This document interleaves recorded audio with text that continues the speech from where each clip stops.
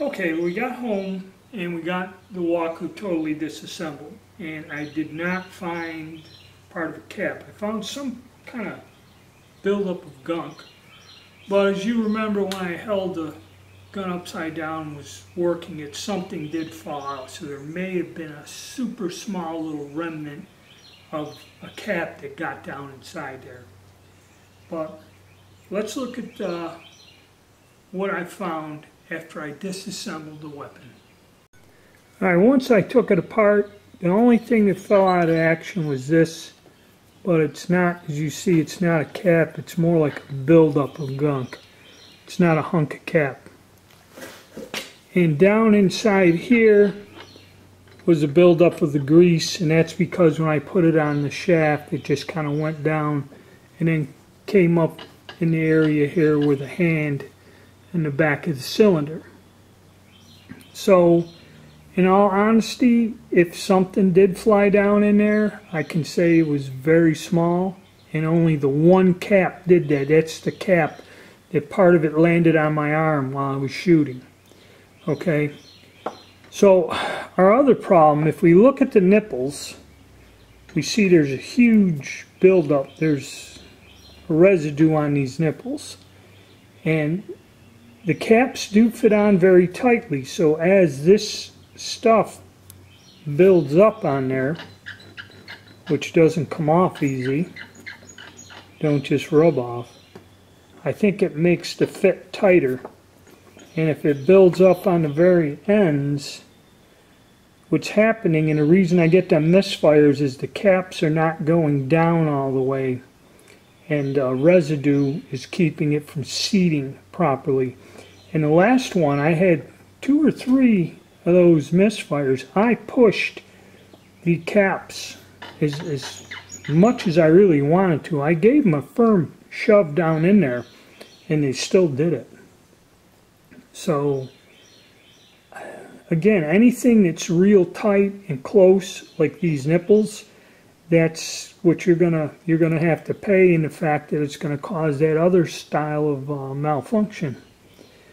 So now I'm just gonna clean her up and put this gun uh, away and I'll give you my final thoughts on this. Alright, so was swapping out the nipples uh, and spending 40 bucks for that upgrade kind of worth it?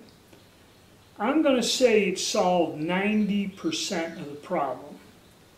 And even though I had one cap actually come apart and fly out of the gun, land on my arm, and I think a part of it went down into the action, one little tiny part.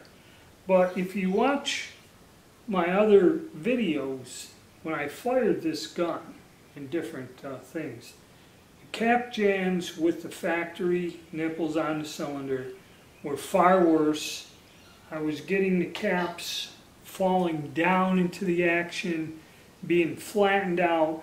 You know, they must have dropped off the hammer and come down and drop inside this part of the frame here and would, would lock it up. Um, or you'd have misfires. Now I was getting misfires, but like when we looked at the nipples, what it was is it was hard to get the caps on these nipples once they got fouled. I mean, it was it was tough to do it.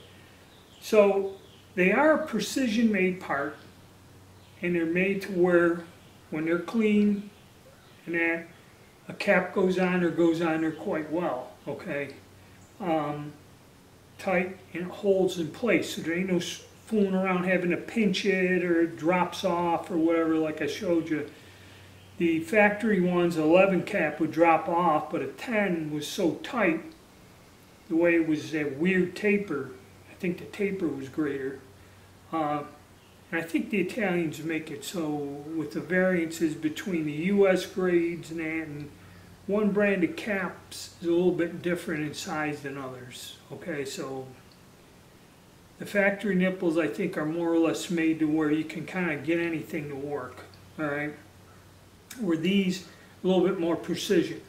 So I'm going to say the idea of the little tiny flash hole did. It kept the back pressure from throwing the spent caps back into the action. That did work, okay? Um, and you could see where some of them would go into a little notch and there'd be a deformation in that, but all of them basically stayed on the other side of the frame and inside the notches where the nipples were, is where most of the cap cap fragments stayed. what was happening with the factory uh, nipples is the cap fragments were either sticking on a hammer or blowing back in a way that when you pulled the hammer back, they would fall down inside the frame and then down into the uh, action itself.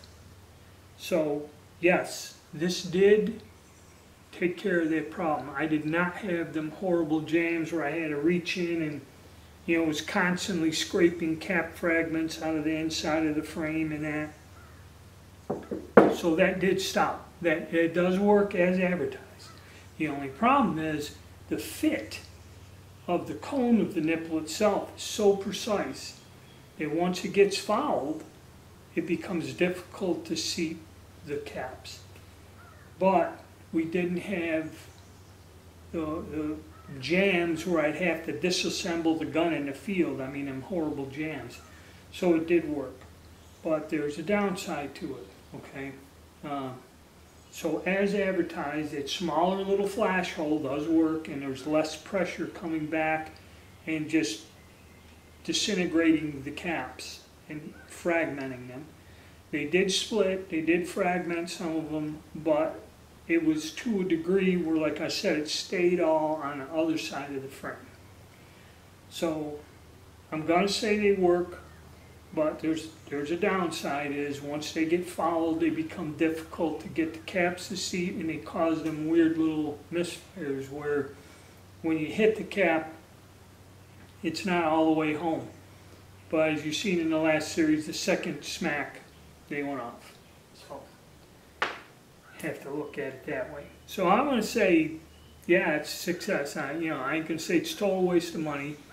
Uh, it didn't 100% you know, give me guaranteed 100% functioning, it kind of created another problem.